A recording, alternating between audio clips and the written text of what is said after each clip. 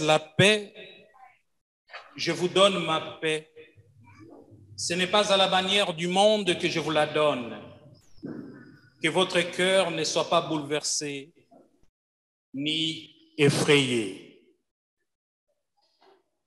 C'est avec ces paroles que Jésus a adressées à ses disciples que nous sommes ici et maintenant, que l'équipe, toute l'équipe des catéchètes et d'animation des activités enfance et moi-même, nous vous accueillons à ce culte de Noël pour enfants.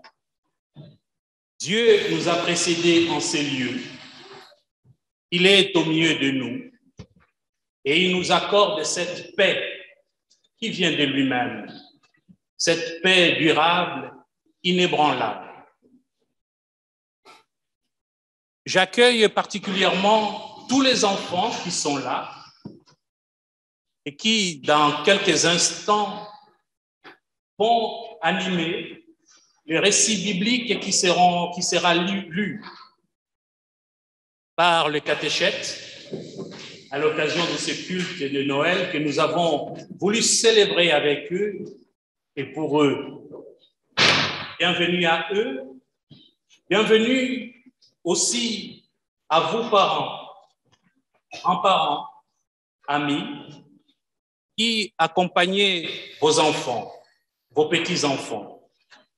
Bienvenue aux habitués de ces lieux. Bienvenue aussi à ceux et celles qui seraient de passage ce matin au milieu de nous. Nous sommes en communion de prière avec ceux et celles qui nous suivent de l'autre côté dans la salle du foyer, par Zoom, et ceux qui nous suivent à la maison, sans oublier des enfants qui auraient aimé être ce matin avec nous, mais pour diverses raisons ne sont pas là.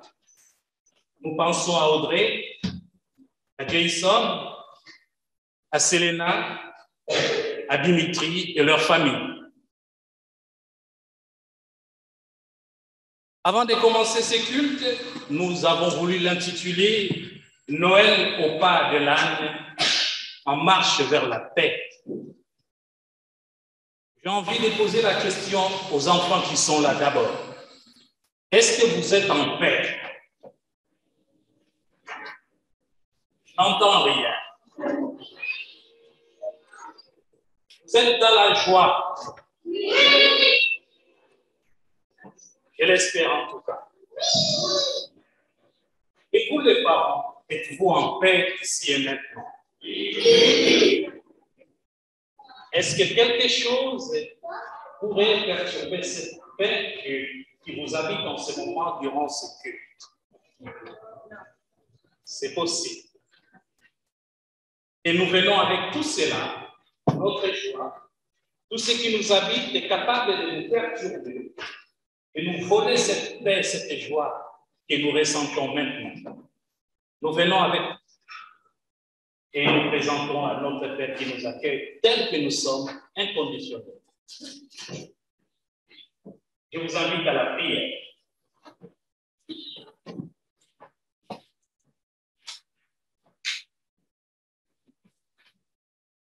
Dieu notre Père, nous te disons merci pour la paix que tu nous donnes.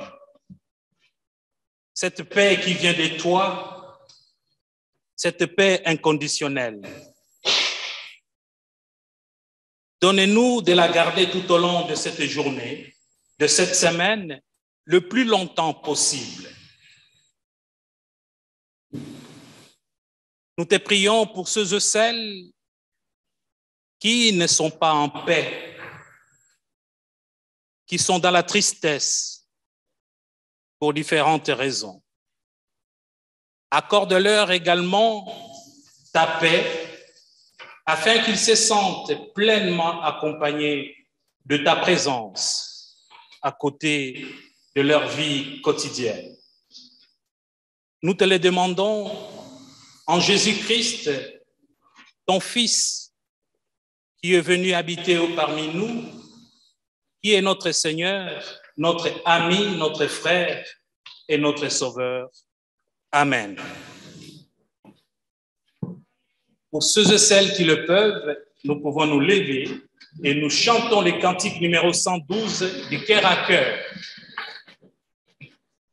On va le chanter en entier.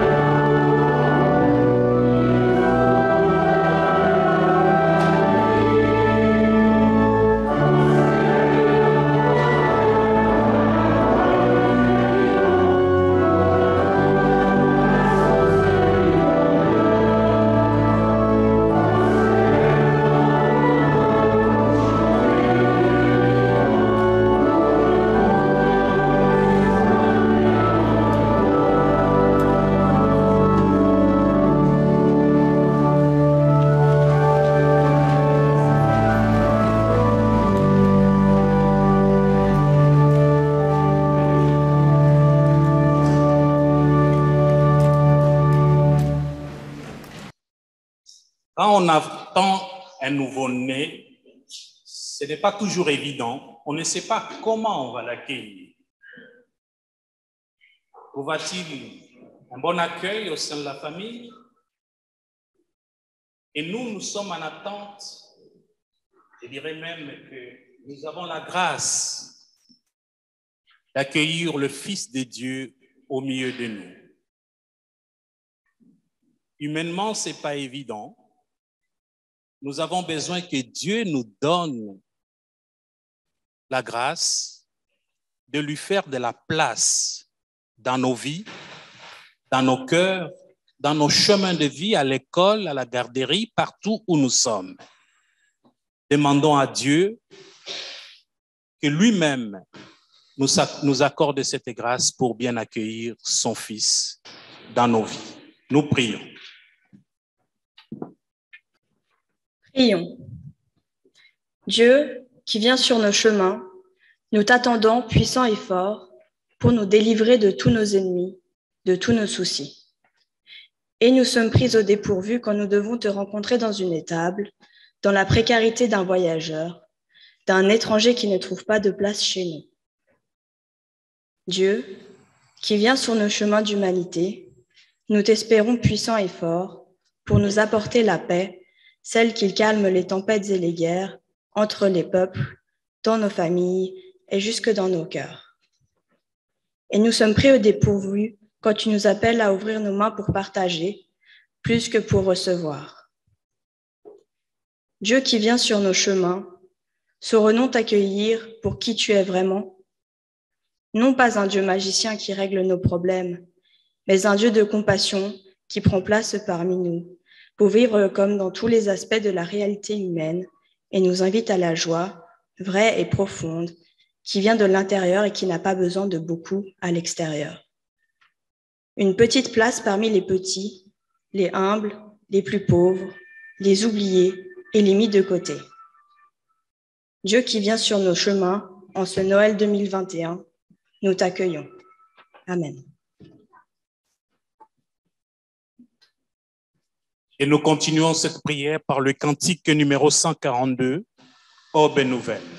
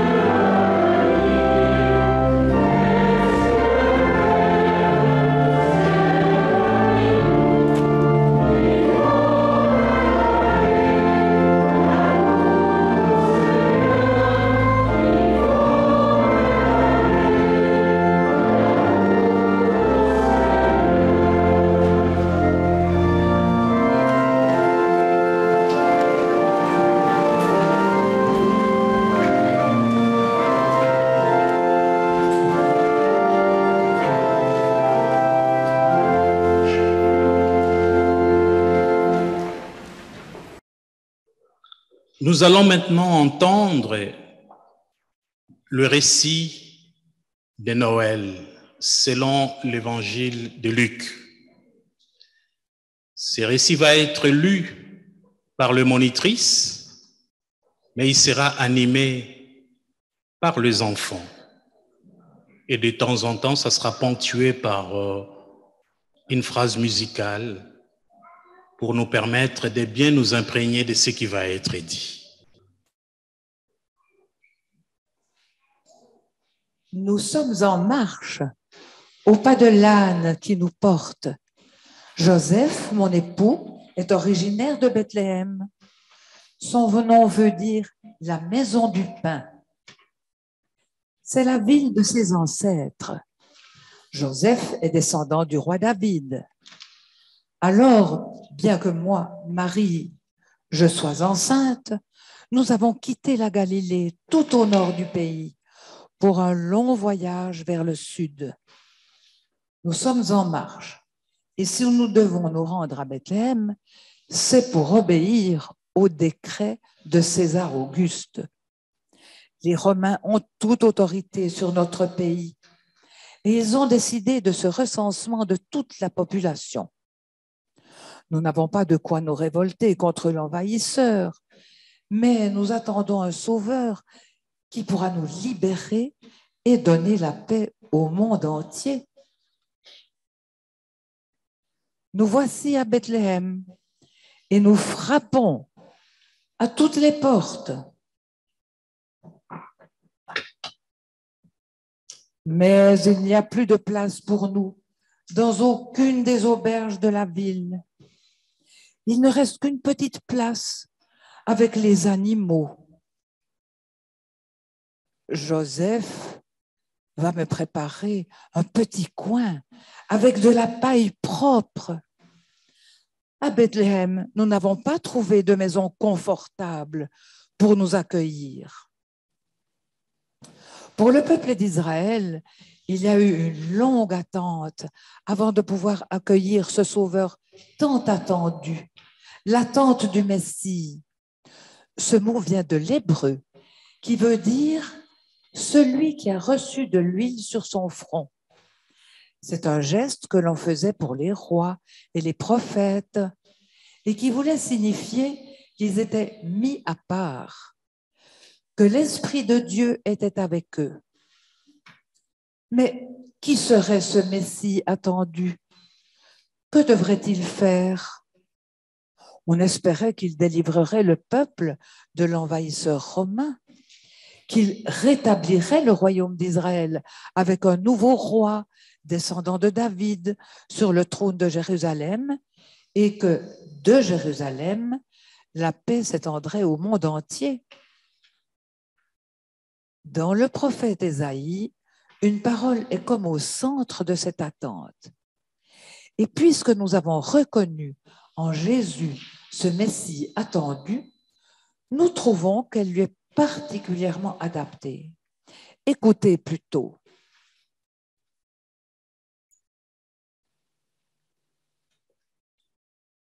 Le peuple qui marche dans la nuit voit une grande lumière. Sur ceux qui vivent au pays des ténèbres, une lumière se met à luire. Seigneur, tu fais grandir la nation, tu rends sa joie immense. On s'est réjoui en ta présence comme on s'est réjoui à la moisson, comme on crie de joie car un enfant nous est né, un fils nous est donné. Dieu lui a confié l'autorité. On lui donne ses titres. Conseiller merveilleux, Dieu fort, Père pour toujours, Prince de la paix. Il doit étendre son autorité, assurer une paix sans, sans fin il occupera le siège royal de David et régnera sur son empire pour l'affermir et le maintenir en établissant le droit, l'ordre de Dieu, dès à présent et pour toujours. Voilà ce que fera le Seigneur de l'univers dans son ardent amour. Nous attendons un sauveur. Et à moi, Marie, il m'a été fait une faveur particulière. Dieu m'a choisi pour porter un enfant.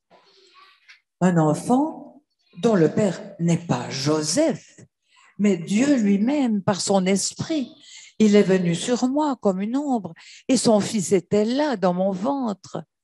C'est un grand mystère qui me dépasse moi-même. Je ne sais pas comment c'est possible. Et je me demande à quoi ressemble ce petit.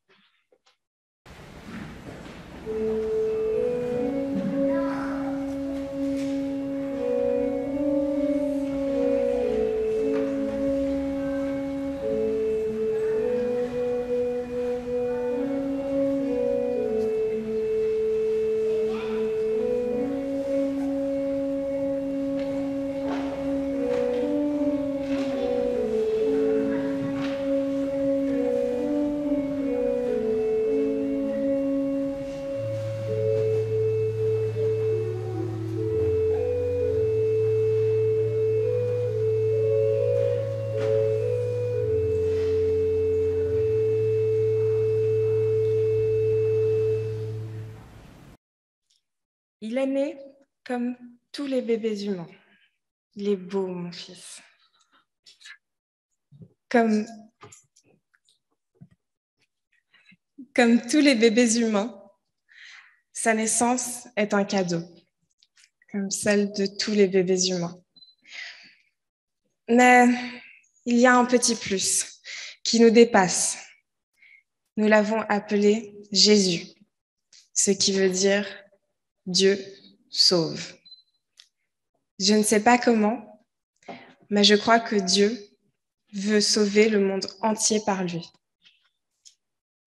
Mais pour l'instant, chut, il dort. Il se repose entre mes bras et je suis, comme toutes les mamans du monde, la plus heureuse en cette nuit. Et je suis, comme toutes les mamans du monde, la plus inquiète en cette nuit. Quel avenir sera le sien? Et je suis en compassion avec toutes celles et ceux qui ont des histoires de naissance plus sombres que la mienne. Si cet enfant pouvait les consoler.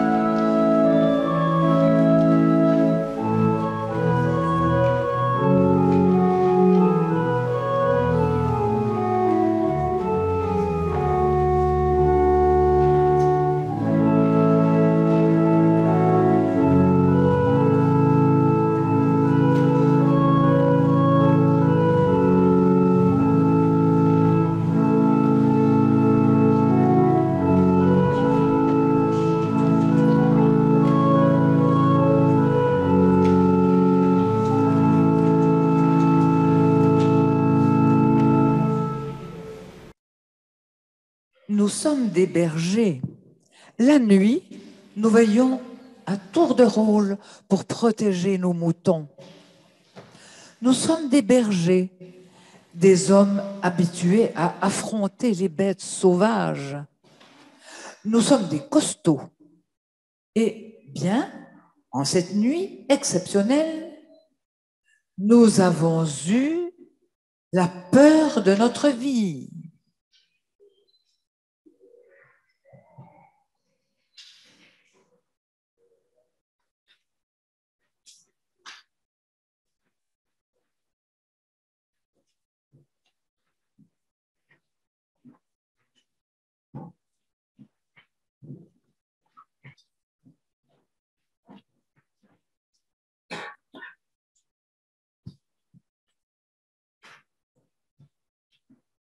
Tout à coup, il y a eu une apparition dans le ciel.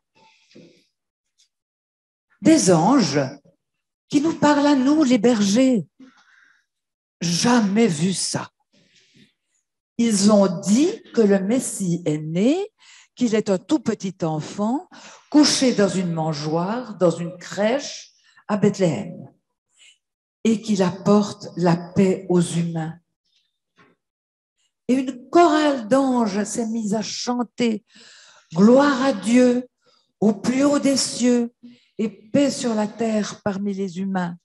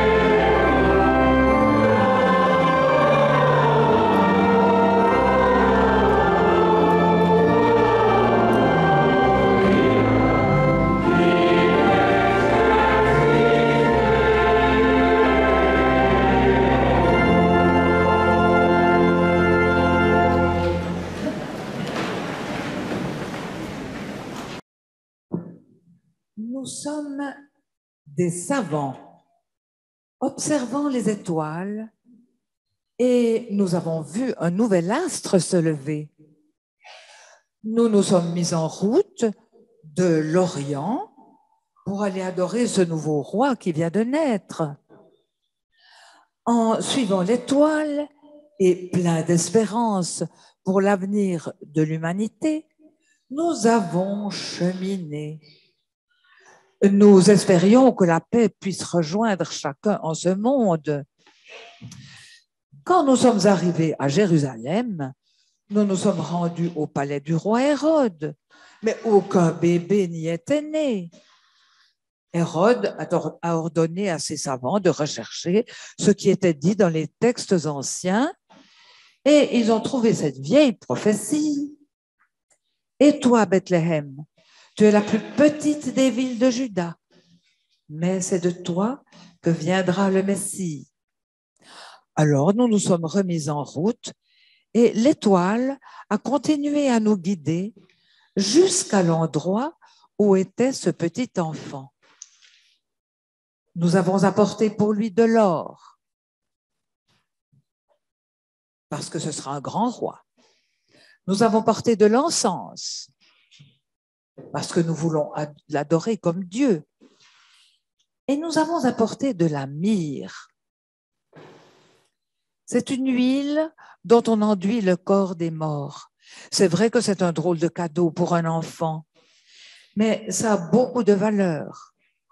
Et qui sait ce qui attend ce nouveau-né? Si c'est vraiment lui, le sauveur du monde, comment va-t-il s'y prendre? Qu'est-ce qu'il va faire? Qu'est-ce qu'il va dire pour apporter la paix au monde entier? Et nous, comment allons-nous le recevoir?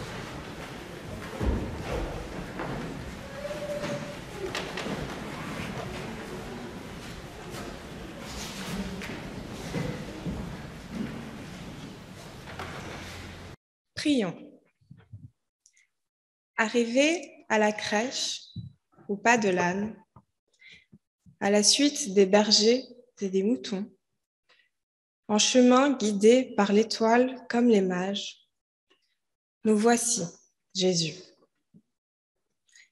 Penché sur ton berceau, nous te reconnaissons comme la lumière du monde, venu pour éclairer tous les humains de la lumière qui vient de Dieu. Penché sur ton berceau, nous te reconnaissons comme la parole venue proclamer l'amour de Dieu au monde entier. Penché sur ton berceau, nous t'acclamons comme le sauveur du monde. qui vient nous délivrer de toute peur, de tout mal et de toute souffrance. Penché sur ton berceau, nous te recevons comme le prince de la paix. De ton berceau à la croix, il y a toute ta vie qui rejoint nos vies. De la croix au tombeau, il y a tout le désespoir de cette lutte sans fin contre le mal et les forces contraires à Dieu. De la tombe au matin de Pâques, il y a l'espérance, plus forte que la mort, que la vie peut rejaillir et que rien ne peut enfermer la victoire de Dieu.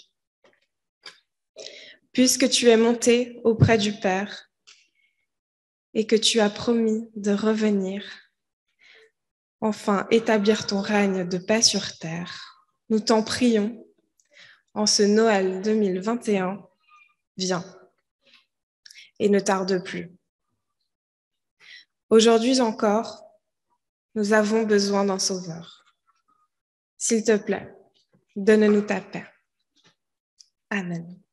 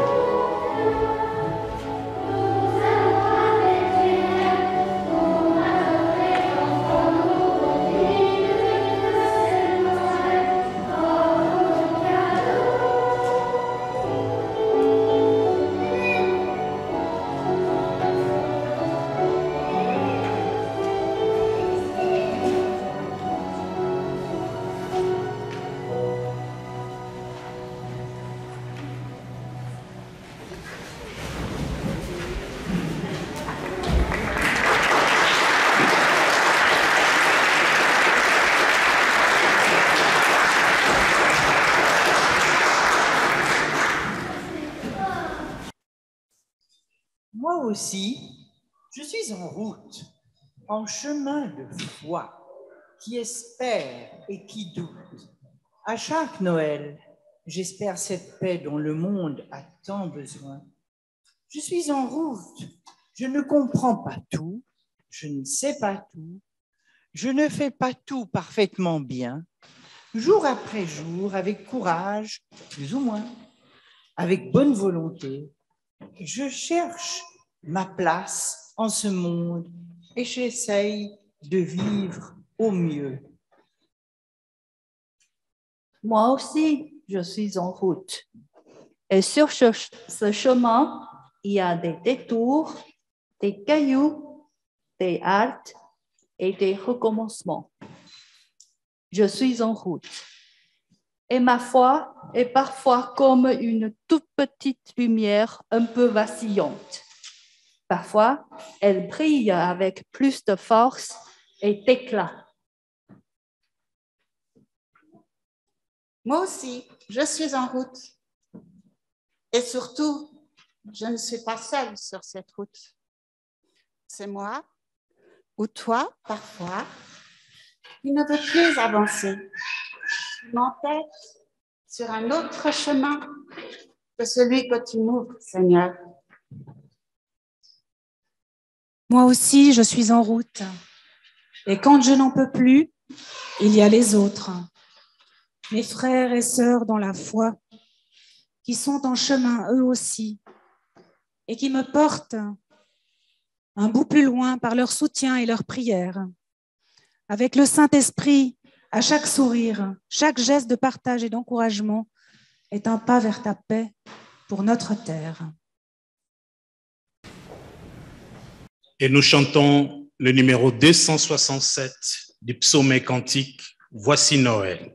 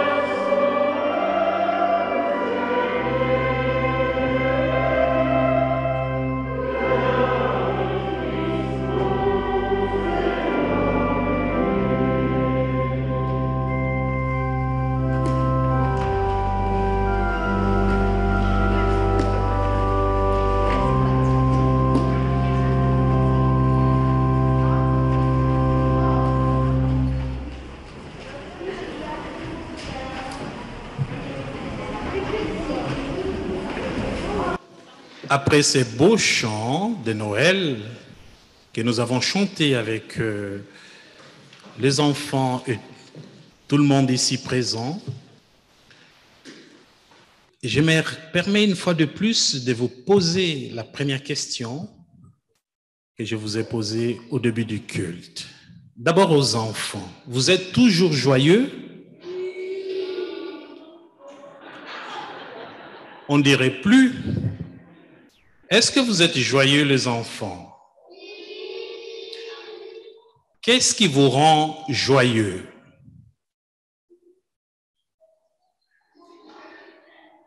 Qui veut nous dire ce qui le rend joyeux ici? Oui, Gabriel. Il se nomme aussi Gabriel. Bien. Mais tu as levé les doigts. Ne fais pas le timide. Pourquoi tu es, tu es joyeux maintenant? Enlève les masques. Comme ça, tu vas bien parler. Pourquoi tu es joyeux maintenant? Parce que j'aime bien chanter. Parce que tu aimes bien chanter et quand tu chantes, tu es joyeux. Merci. Oui, qu'est-ce qui te rend joyeux?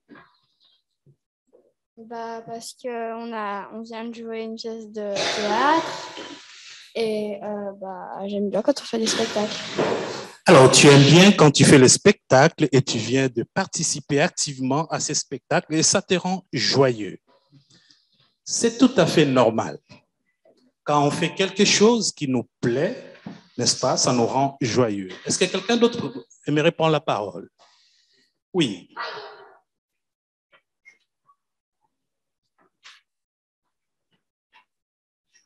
Enlève les masques. Qu'est-ce qui te rend joyeux?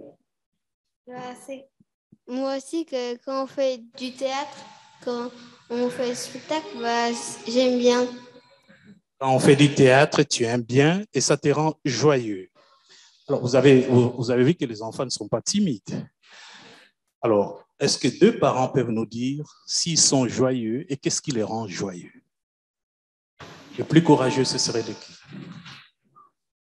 Ah, bon, il y a encore un enfant qui veut prendre la parole. Le temps de réfléchir, les parents. Ce qui me rend joyeux, c'est quand on passe du temps avec, avec les. Quand on fait des spectacles, bah, c'est cool. C'est cool quand on fait des spectacles. Je, cru comprendre aussi quand on passe du temps avec les copains.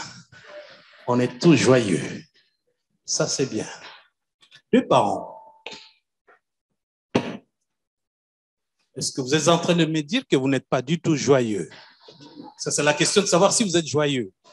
Aucun parent n'est joyeux. Ah, il y a au moins un. Merci. Moi, je suis tellement contente de voir des enfants. Ça me renvoie à mon enfance, euh, ce qu'on faisait, les théâtres comme ça.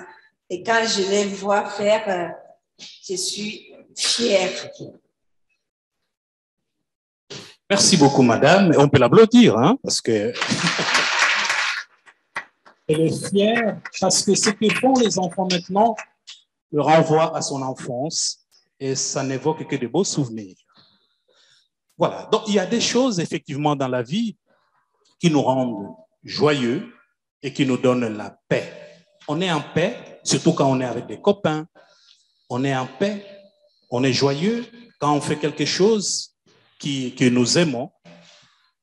Et c'est des choses de la vie tout simplement. m'entendez? Est-ce que cette paix, cette joie va nous accompagner tout au long de cette journée? Est-ce qu'elle va, si elle peut nous accompagner tout au long de cette journée, tout au long de cette semaine? Tout au long de ces mois. Bon, les mois, c'est bientôt fini, mais est-ce qu'elle peut durer longtemps? Et si oui, jusqu'à quand? Il y a ces sentiments de joie qu'on peut ressentir, ces sentiments de la paix qu'on peut ressentir, mais elle est parfois ébranlée, elle est parfois perturbée par certains événements de la vie on est content, on est joyeux, on a la paix parce qu'on a un nouveau-né. Mais quand on commence à penser à son, à son avenir dans notre contexte d'aujourd'hui, l'inquiétude peut facilement se déplacer à la joie, à la paix. Quand on sait qu'au sein de ma famille, tout le monde se porte bien, les enfants vont à l'école, les parents travaillent, les grands-parents sont en bonne santé, les affaires vont bien, on est tout content. Mais si on apprend quelque chose de contraire, cette joie, cette paix peut s'évanouir. Or, le Christ nous dit, je vous donne ma paix, je vous laisse ma paix. Non pas comme le monde vous le donne, mais c'est moi qui vous donne cette paix. Et le thème, le titre de notre culte de ce matin, c'est vers la paix, chemin vers la paix. Jésus, prince de la paix. Qu'est-ce qui fait que aujourd'hui je sois en paix et que demain je devienne triste? Ou alors c'est des courts épisodes de joie de paix Est-ce que c'est en contradiction avec ce que le prince de la paix a dit, dit à ses disciples ce matin, dit à ses, aux enfants qui sont là? Comment conserver durablement cette paix qui n'est pas une paix superficielle? D'abord, il y a deux niveaux. Il y a des choses qui sont superficielles, artificielles. Ça vient, ça passe. Et il y a des choses qui sont très profondes, au plus profond de nous-mêmes. Quelle que soit la situation dans laquelle on peut se retrouver, si les copains ne veulent plus jouer avec nous, si j'ai quelques difficultés à l'école et ça me rend triste, ça me, ça, ça me vole la paix, la joie que j'avais. Si j'ai commis une faute, pour pouvoir garder cette paix pendant longtemps, Dieu nous dit ceci. Tout concourt au bien de celui que Dieu aime. Quelle que soit la situation, si on la vit dans la foi et dans l'espérance, si on se dit que Jésus qui vient de naître est un copain qui nous accompagne tout le long de nos vies, qu'on soit à l'école, qu'on soit seul dans sa chambre, qu'on soit sur le terrain de jeu, il est avec nous. Et même si ce qui peut, à mes yeux, être dur, difficile, douloureux, si on les confie à Dieu, il les transformera en bien. Donc il nous invite, l'enfant Jésus, qui nous apporte la paix, qui nous donne sa paix, nous invite à lui confier tout, tout ce qui perturbe, tout ce qui peut nous déranger, tout ce qui peut nous inquiéter, tout ce qui peut nous angoisser, nous pouvons les lui confier. Il est né, il est venu aujourd'hui pour être un copain fidèle à qui on peut tout dire, à qui on peut faire totalement confiance, même quand on est triste, même quand on se sent mal aimé ou moins aimé, même quand on se sent rejeté par les copains, même si le travail ne marche pas l'avenir de nos enfants. Il nous invite à lui confier tout cela en pleine, dans, dans la foi et dans l'espérance, en sachant que tout ce que nous faisons, je cherche mes papiers,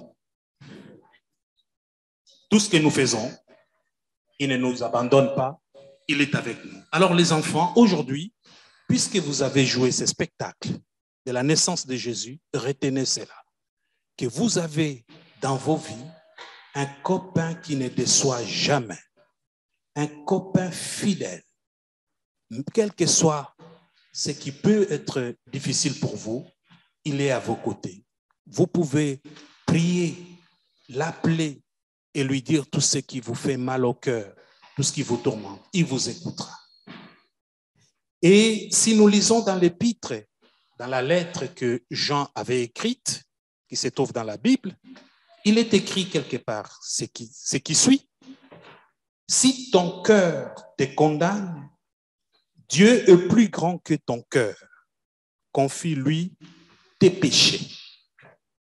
Ça ne fait que renforcer ce que je viens de vous dire là.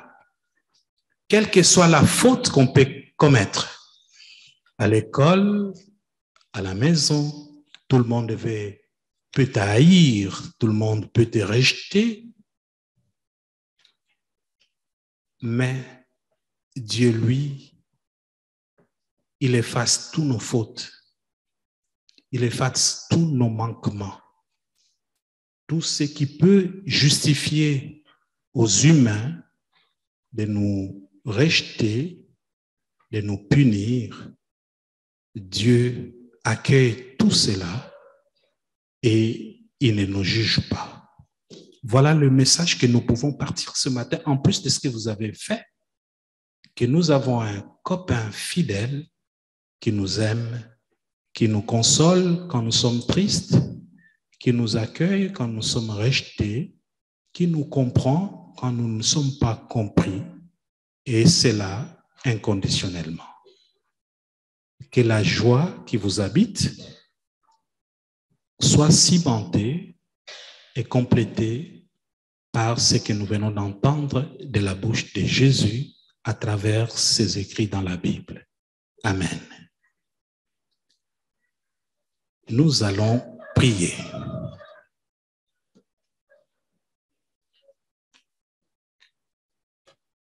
Nous prions encore pour les pays en guerre, pour les victimes sur des chemins d'exil, pour les malheureux qui ont tout perdu.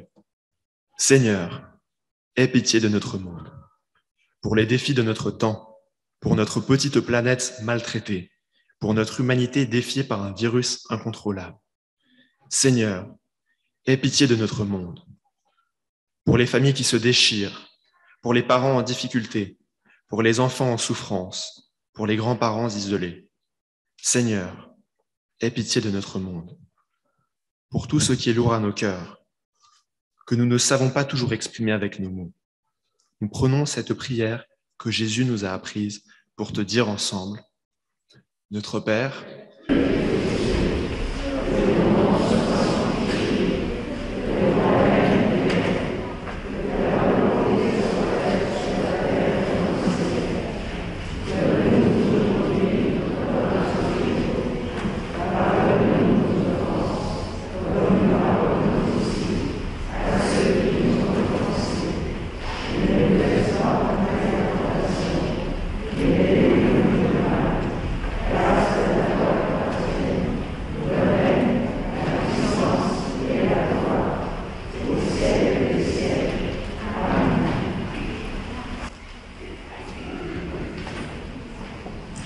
Voilà, nous arrivons presque à la fin de ce culte de Noël que nous avons vécu avec les enfants.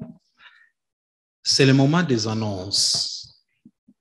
Première annonce, c'est d'abord remercier tous les enfants, tous les enfants qui sont là, qui ont joué ces beaux spectacles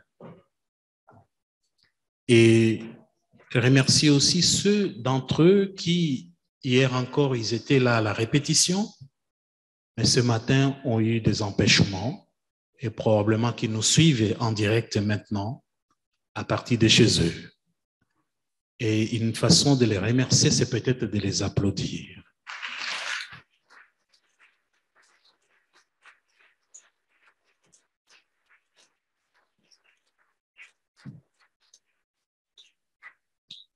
Un deuxièmement de remerciements, c'est aussi les parents. Les parents de ces enfants, les grands-parents, qui ne ménagent aucun effort pour le mettre sur la route, la route qui conduit à Jésus, qui le mettent sur la voie, la voie qui conduit à la vie. Merci à vous les parents, les grands-parents, amis et connaissances qui êtes là pour soutenir ces enfants dans leur chemin de la foi. Merci également à toute l'équipe des catéchètes qui ont travaillé pendant des heures et des heures, des jours et des jours, voire des semaines et des semaines pour vous présenter le résultat final de ce travail de préparation. Nous leur disons merci. On nous a déjà fait remarquer ici même que nous sommes tous des ouvriers inutiles. Donc, je me garde pour cette raison de citer nommément chacune d'entre elles, mais vous les avez vues, elles sont là, ils sont là, et nous les remercions aussi en les applaudissant.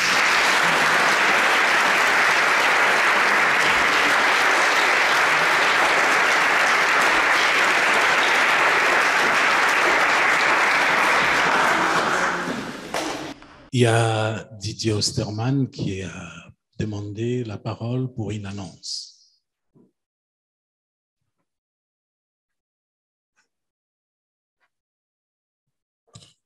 Oui, bonjour et merci à Gabriel et l'équipe pour ce, magnifique culte, très, très émouvant. Voilà, je vais vous voler maintenant une seconde pour une activité qui se passera fin janvier, fin janvier 2022, dans le cadre des célébrations écuméniques de la semaine de prière pour l'unité des chrétiens, qui se tiendra du 18 au 25 janvier 2022 et dont le thème a été préparé cette année par le Conseil des Églises de Moyen-Orient de Beyrouth. J'aurai le plaisir de vous proposer une conférence mercredi 19, mercredi 19 janvier à 19h30 au centre sur la situation aujourd'hui au Liban, sur nos, frères des chrétiens d'Orient.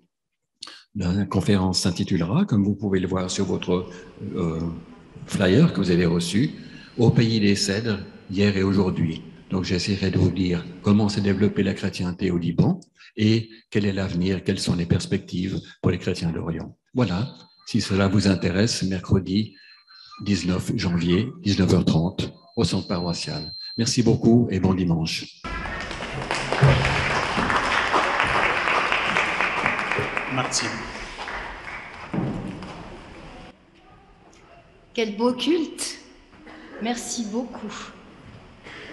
Elles sont engagées, passionnées, combatives, motivées. Je parle évidemment des catéchètes, des monitrices, des, des aides.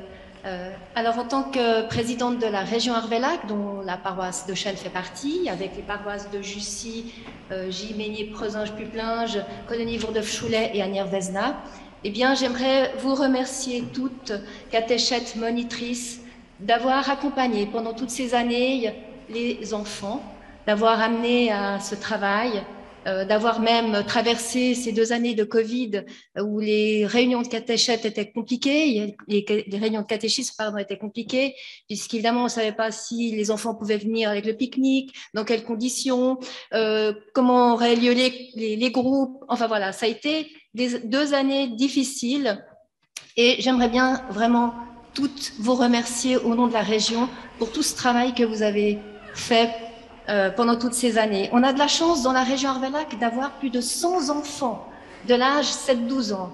C'est vraiment beaucoup, beaucoup d'enfants qui sont là, qui sont comme, ben, comme vous, les enfants, qui ont de la joie dans le cœur, de venir au groupe, de partager avec les copains, de parler de la foi. Et voilà, donc vraiment de participer à une scénette comme aujourd'hui. Donc, euh, on a vraiment cette chance-là. Par contre, on a de la, évidemment de la difficulté à trouver suffisamment de bénévoles euh, pour pouvoir euh, accompagner nos enfants et accompagner les familles.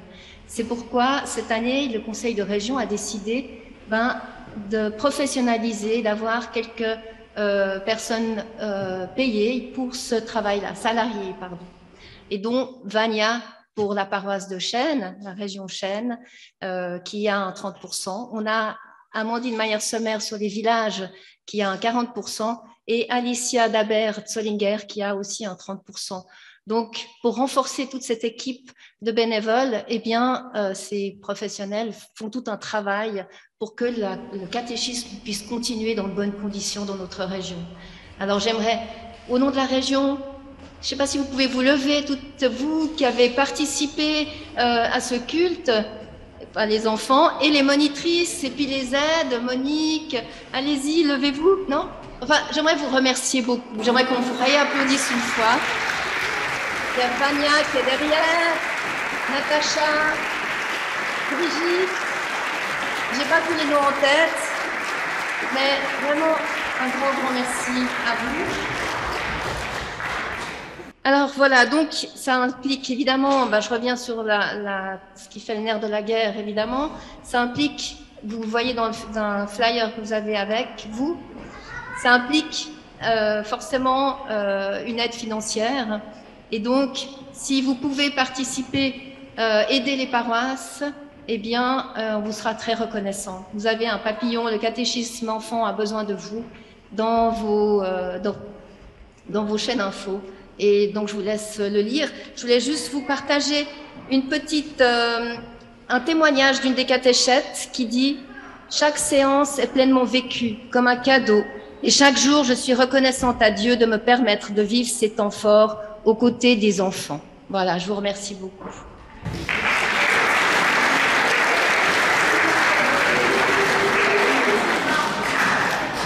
Voilà, je voulais encore juste un petit mot remercier beaucoup la commune de Chêne-Bougerie qui nous offre ce magnifique sapin et qui a offert aussi le- l'estrade et qui l'a monté, etc. Donc nous sommes très reconnaissants pour la, la commune de Chêne-Bougerie qui nous donne tout ce soutien. Voilà, un bon dimanche à tous. Alors, les enfants ont faim, ils sont impatients euh, d'entendre des annonces. Euh, maintenant, on, on- va, nous allons nous lever.